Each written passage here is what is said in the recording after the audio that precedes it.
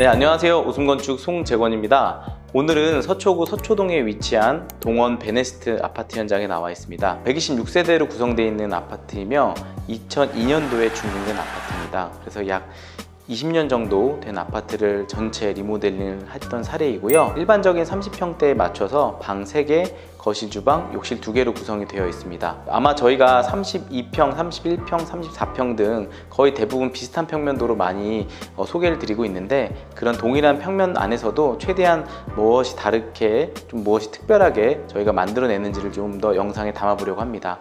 그래서 이번에도 역시나 한번 현관부터 거실, 주방, 욕실 각 침실별로 한번 전체적으로 좀 둘러보도록 하겠습니다. 이번 현장 같은 경우는 전체적으로 약간의 컬러감이 좀 많이 들어갔던 현장이라고 보시면 될 것 같습니다. 군데군데 wood 느낌의 어떤 바닥, 실제로 뭐 바닥은 이제 walnut 소재로 바닥이 마감이 되고 어, 창호 같은 경우는 전체 LG 창호로 교체를 했지만 그 위에다가 wood 느낌의 필름을 덧대기도 했고요. 일부 image wall을 만들었던 벽체도 있는데 그 벽체도 wood의 느낌을 좀 더 살렸습니다.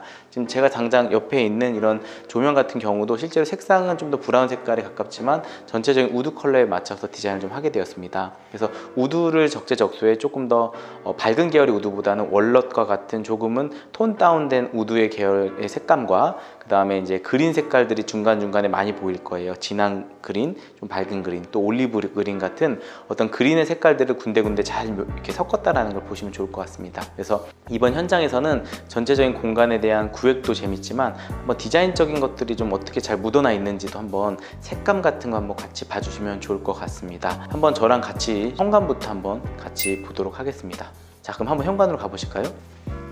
네, 제가 이제 서 있는 이 현관부터 한번 설명을 드리도록 하겠습니다. 우선 현관 같은 경우는 보시는 것처럼 전체 3연동 도어로 설치를 했는데요. 일반적으로 이제 이번, 이런 형태의 구조에서는 저희가 이렇게 3연동 도어를 설치하는 경우도 있지만 이쪽 면에다가 벽체를 형성해서 슬라이딩 도어를 설치하는 경우도 있습니다.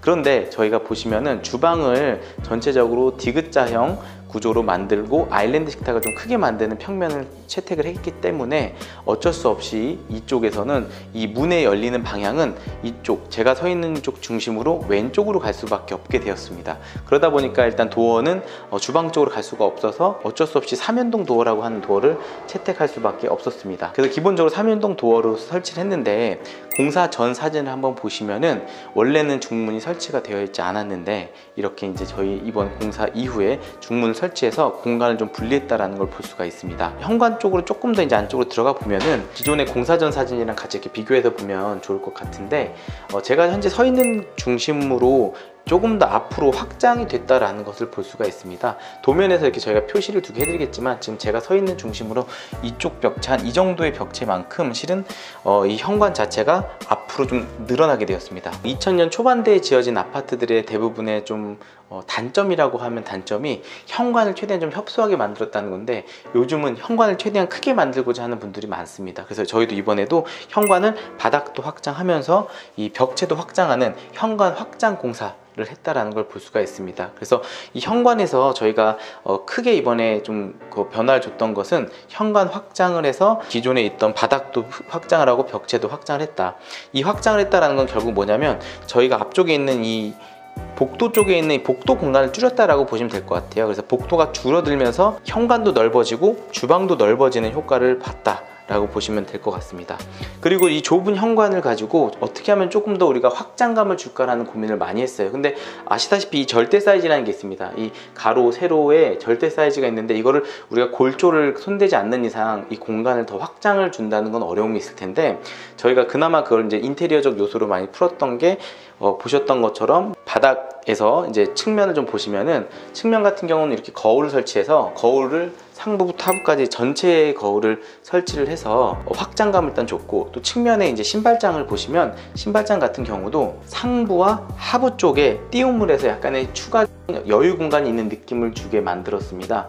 그러다 보니까 공간 자체에서 약간 뭔가 빡빡 빡빡하게 공간이 꽉 찬 느낌보다는 뭐 조금의 여유 있는 느낌을 어, 양쪽 옆면에서 저희가 계획을 했습니다. 한쪽에서는 거울로 한쪽에서는 신발장에 상하부 띄움으로 공간의 확장감을 줬다. 그리고 수평적인 거에서는 어, 보시는 것처럼 앞쪽에 조금 더 공간을 들여내면서 현관을 크게 만들었다. 이런 것들이 이제 보시면 인테리어를 하면서 현관이라는 어떤 작은 공간이지만 이 집을 들어오는데 처음 마주하는 이 공간을 조금 더 특별하게 만드는 요소라고 보, 시면 좋을 것 같습니다. 현관 같은 경우는 뭐 일반적으로 저희가 가장 많이 하는 이제 필름 작업으로 진행을 했고요. 벽체 같은 경우는 이제 내부 공간으로 들어서는 첫 번째 벽인데 뭐 보통은 벽지로 많이 하지만 이번에는 저희가 필름 작업으로 진행을 했습니다. 그래서 실제 필름으로 하면은 아무도 오염이 돼도 이게 저희가 닦거나 청소하는 데 용이하기 때문에 필름 작업으로 지, 작업을 로 진행을 했고요. 그 다음에 이제 여기 신발장 한번 보실 텐데 신발장 같은 경우는 상하부 띄움을 하, 면서 동시에 이제 보시면 제 손톱만한 이런 이제 이쁜 손잡이로 이렇게 설치를 하게 됐는데요.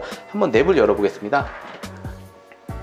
그럼 상대적으로 이제 다른 일반적인 신발장과 비교해서 보셨을 때 뭔가 공간이 조금 많이 촘촘하다라는 느낌을 볼 수가 있어요.